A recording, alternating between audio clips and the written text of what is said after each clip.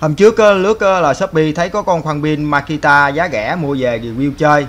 Thì ngày hôm nay mình đã mua được về rồi.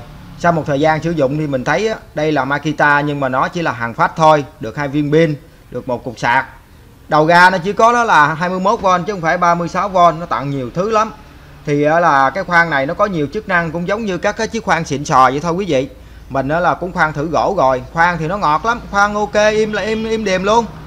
Ok con gà đen à, còn khoan á, gỗ cũng vậy mà bây giờ đó là, là bắt vít chứ lộn bắt vít thì nó ok lắm. Rồi khoan thì cũng vậy khoan thì nó lũng cái lỗ chà nhăn bá luôn nè. Đó đưa cái bản mặt mình vô cũng được luôn nữa.